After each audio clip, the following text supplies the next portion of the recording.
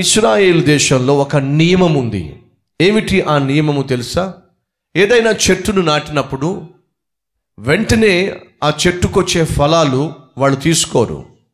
మరి ఏం చేస్తారు? ఒకసారి చూద్దాం రండి. ఆ నియమం ఏమిటో చూద్దాం రండి. లేవియా కాండము పంతొమ్మిదవ అధ్యాయము ఇరవై మూడవ వచనము. మీరు ఆ దేశమునకు వచ్చి ఆహారముకై నానా విధములైన చెట్లను నా- నాటినప్పుడు వాటి పండ్లను అపవిత్రములుగా ఎంచవలెను. వాటి కాపు మీకు ఎక్కువగా ఉండునట్లు అవి మూడు సంవత్సరముల వరకు మీకు అపవిత్రములుగా ఉండవలెను. వాటిని తినకూడదు. ఎన్ని సంవత్సరాలు తినకూడదు మీరు? అది కాపు కాసిన మొదటి మూడు సంవత్సరాలు మీరు తినకూడదు. వదిలేసేయండి. ఆ చెట్టుకు కాసిన పండ్లను మీరు ముట్టుకోకండి. మొదటి మూడు సంవత్సరాలు ఆ పండ్లను వదిలేసేయండి. అలా వదిలేస్తే ఆ చెట్టు మరింతగా ఫలిస్తుంది. మరింతగా కాపు కాస్తుంది. మొదటి మూడు సంవత్సరాలు వదిలేసేయండి. ఇరవై నాలుగో వచనము. నాలుగవ సంవత్సరమున వాటి ఫలములన్నీ యహోవాకు ప్రతిష్ఠితమైన స్థుతియాగ ద్రవ్యములగును. నాలుగవ సంవత్సరమున ఫలములు మీరు తీసుకోకండి. అది ప్రథమ ఫలముగా భావించి దేవునికి అప్పగించండి. నాలుగవ సంవత్సరమున ప్రథమ ఫలముగా భావించి దేవునికి ఇచ్చేసేయండి మరి ఎప్పుడు తీసుకోవాలట వీరు ఫలము? ఐదవ సంవత్సరమున వాటి ఫలములను తినవచ్చును. ఎన్నో సంవత్సరములు మీరు తీసుకోవచ్చు? ఐదవ సంవత్సరమున. జాగ్రత్తగా వినండి. యజమాని వచ్చి అంటున్నాడు గత మూడు సంవత్సరాలుగా నాకు ఫలాలు ఏమైనా ఇస్తుందేమో అని వచ్చి చూశా. అంటే వాస్తవంగా మూడు సంవత్సరాలు తాను ఫలము తీసుకోవడానికి వచ్చాడు అంటే అది ఎన్నో సంవత్సరం చెప్పగలరా మీరు? కొంచెం కామన్ సెన్స్ వాడండి. ఎప్పుడు ఒక యజమాని ఆ చెట్టు నుండి ఫలాన్ని తన కొరకు తీసుకోవచ్చు? ఎన్నో సంవత్సరంలో? ఐదవ సంవత్సరంలో. నాలుగవ సంవత్సరం? దేవునికి ఇవ్వాలి మొదటి మూడు సంవత్సరాలు ముట్టుకోకూడదు. మొదటి మూడు సంవత్సరాలు ముట్టుకోకూడదు. నాలుగవ సంవత్సరము ఆ ఫలము దేవునికి ఇవ్వాలి ఐదవ సంవత్సరమున ఆ ఫలము తాను తీసుకోవచ్చు.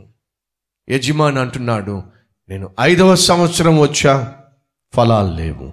ఆరో సంవత్సరం వచ్చా? ఫలాలు లేదు. ఏడవ సంవత్సరం వచ్చా? ఫలాలు లేవు. ఈ చెట్టు దగ్గర నుంచి ఎప్పటి నుంచి ఫలాలు లేవు? ఏడు సంవత్సరాలుగా ఫలాలు లేవు. ఏడు దేనికి సాదృశ్యము? పరిపూర్ణతకు సంపూర్ణతకు సాదృశ్యము. అనగా ఆ చెట్టుకు ఎంత సమయం ఇవ్వాలో అంత సమయాన్ని ఆ యజమాని ఇచ్చాడు కానీ అది మాత్రం ఫలించలేదు. సహోదరుడా సహోదరి నువ్వు ఫలిస్తావని నువ్వు మంచి వ్యక్తిగా జీవిస్తావని దేవుని బిడ్డగా బ్రతుకుతావని యథార్థవంతునిగా జీవిస్తావని పరిశుద్ధునిగా నీ జీవితాన్ని గడుపుతావని దేవుడు ఏడు సంవత్సరాలుగా నిన్ను చూస్తూ చూస్తూ వచ్చాడు.